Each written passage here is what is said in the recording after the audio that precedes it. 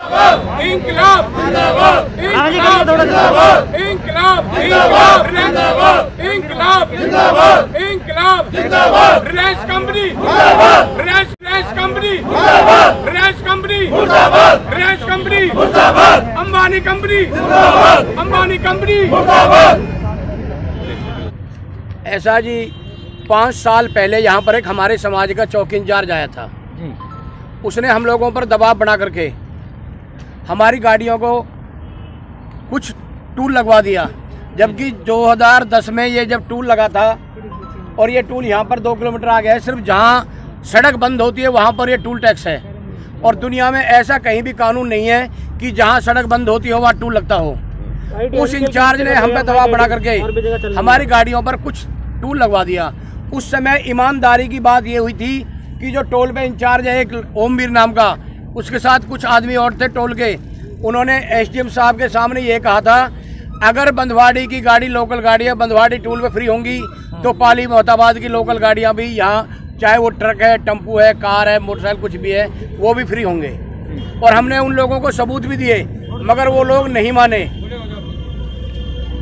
उससे, आज से एक साल पहले, यहाँ के सतानीय थाना इंचार्ज सोनलाल जी ने भी यहाँ पर एक मीटिंग बुलाई थी टोल टैक्स वालों ने मुद्दा उठाया था।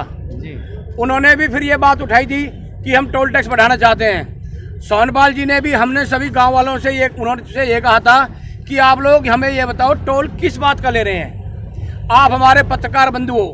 विश्व का चौथा स्तंभ हो आप लोग। आप दुनिया की सच्चाई को दिखाते हो। आप लोगों से मैं पूछना चाहता हूँ कि आप लोग रोज खबर छापते हो। इस फरीदाबाद में पाली गाँव से लेकर बल्लमगढ़ तक क्या आप जा सकते हो? आप लोग यहीं रहते हो लोकल हो।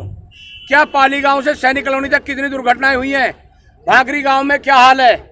किस चीज़ का टोल दें हम लोग? और जबकि सड़कें खराब हैं। सारी सड़कें टूटी पड़ी हैं जब हम उनको लोग बोलते हैं कि हमारे रोड को बनाया जाए ये किया जाए तो वो लोग यह कहते हैं सता कि स्थानीय विधायक और प्रशासन को हम पैसे देते हैं। हम किस बात के लिए सड़क को बनाए ऐसा कौन कहता है? टोल टैक्स वाले। अच्छा। भागरी गाँव में आप देख लो आज की तारीख में भी कितने एक्सीडेंट होते हैं। पाली गाँव तक जाने में एक घंटा लगता है।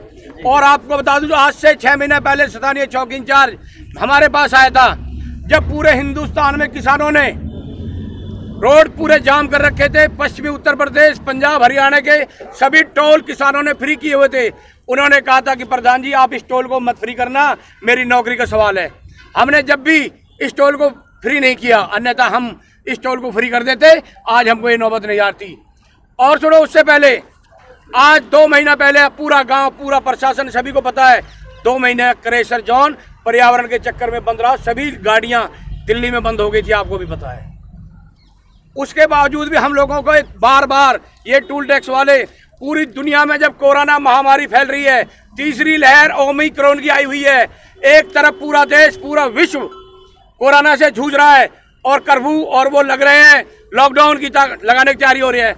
और ये हिंदुस्तान का सबसे बड़ा डाकू रिलायंस कंपनी वाला इन भोले भाले गरीब लोगों को गाँव वालों को लूटने की कोशिश कर रहा है। कितना टोल लेते हैं प्रति व्यक्ति से? प्रति गाड़ियों का ट्रक गाड़ी- और चक्कर का टोल लेते हैं जबकि 24 घंटा का टोल होना चाहिए इन्होंने लूट बचा रखी है। कितना लेते हैं चार सौ बीस चार सौ बीस रुपया पर चक्कर लेते हैं ये लोग। अब कितना बढ़ाया इन्होंने? अब कहते हैं हम इनको 800 करेंगे डबल करेंगे। जब जब कोरोना की लहर आती है ये देश के डाकू चाहे अदानी हो अंबानी हो ये इस देश को लूटने का काम करते हैं। क्या लगता है ऐसा क्या नया कर दिया जो 400 से 800 कर रहे हैं सीधा? कुछ भी नहीं किया सिर्फ़ लूट। बना दिए क्या? सड़क एक भी कहीं सड़क में कहीं एक रोडी भी नहीं लगाई है। सिर्फ़ और सिर्फ़ लूटने का काम करते हैं। और हम हम उस जाबाज सिपाही उस जाबाज केजरीवाल की सेना के सिपाही हैं जिन्होंने जब अंबानी ने दिल्ली में बिजली महँगी की थी उनके खंभे उखाड़ कर फेंक दिए थे और खुद बिजली पे चढ़कर खंभे बिजली लगाई थी खंभे फेंक कर हम इसके? कुल के तार तार बिखेर देंगे कभी इसके दिमाग में गलत गलतफहमी भी होना। लेकिन प्रधान जी 17 साल का एग्रीमेंट हुआ था रिलायंस के साथ कि हम लोग टैक्स जो है हम अपनी अगर सरकार ऊपर नीचे होती है तो हम अपनी मनमानी से टैक्स भी बढ़ा सकते हैं। 2010 में टूल लगा था 2024 तक के लिए। ये हर छह महीने बाद। उस टाइम सिर्फ़ यहाँ चार हज़ार गाड़ी चलती थी। आज इस रोड पर डेली चार लाख गाड़ियाँ चलती हैं। ये लोग करोड़ों रुपया डेली इकट्ठा करके देश को लूटने का काम कर रहे हैं। हम ये मांग करते हैं कि यहाँ के लोगों के लिए ये टूल बिल्कुल फ्री होना चाहिए। हम लोग एक रुपया भी नहीं देंगे। चाहे महाराष्ट्र हो यूपी हो पंजाब हो हरियाणा में कहीं भी आप चले जाओ हर जगह लोकल लोगों के लिए टूल फ्री है। आज पाली चौकी पर आए हैं क्या रवैया रहा है यहाँ पर? पाली चौकी की बात यह है जी यहाँ का चौकी इंचार्ज थाना इंचार्ज हमारे लोगों को जो ट्रक मालिक है रोज कई दिन से फ़ोन करके बुला रहे हैं कि भाई टूल टैक्स वालों की एप्लीकेशन आई हुई है टूल बढ़ाना चाहते हैं। हर आदमी को एक एक करके बुलाना चाहते हैं। हम सब लोग ऐसे हैं मर जाएँगे टूल नहीं बढ़ाने देंगे किसी भी कीमत पे। अब इसको फ्री करवाने के लिए आए आज कि यहाँ का टूल फ्री होना चाहिए। मानो रिलायंस ने और प्रशासन ने आपकी बात नहीं मानी तो अगला स्टेप क्या होगा आपका? अगर इन्होंने हमारी बात नहीं मानी इनके तो बाप भी मौना को रिलायंस वालों का। ये तो हिंदुस्तान के सबसे बड़े चोर हैं। कैसे नहीं मानेंगे इनके टूल उखाड़ फेंक देंगे? नहीं ये गाँव तो के और राम के अंदर वो ताकत होती है। जिस इंसान ने भी गाँव से राम से लड़ने की कोशिश की है उसका बुरांत हुआ है। इनके हाँ टूल की किल्ली किल्ली हाँ, उखाड़ देंगे। अगर मान लीजिए मेरा नाम रघुवर प्रधान है जी। जी। अगर ये नहीं मानेंगे तो हम रोड को भी टूल को ही उठा देंगे। और टू- रोड को जाम कर देंगे बिल्कुल ही। एक भी एक भी गाड़ी नहीं निकलने देंगे यहाँ कर पूरा रोड टूटा पड़ा है। गाड़ी मेरी बात। पूरा रोड टूटा पड़ा है यहाँ से चले जाइए बल्लभगढ़ तक चले जाइए पालीगाम पाली और भागरी के बीच में देखिए कितने एक्सीडेंट हुए कितने आदमी मरे पाली और भागरी के लोग भी आपके साथ शामिल हैं सब पूरा इलाका शामिल है जी। जी जी। पूरे इलाके के लोग शामिल हैं हमारे साथ। ऐसे में हम टोल नहीं दें बढ़ाने देंगे ना देंगे। आप पाली से। बल्लभगढ़ चले जाओ सरूरपुर और जो रास्ता है वहाँ इतने बड़े खड्डे हो रहे हैं कि आदमी एक घंटा लगता है और आदमी वहाँ जाने से कतराता है।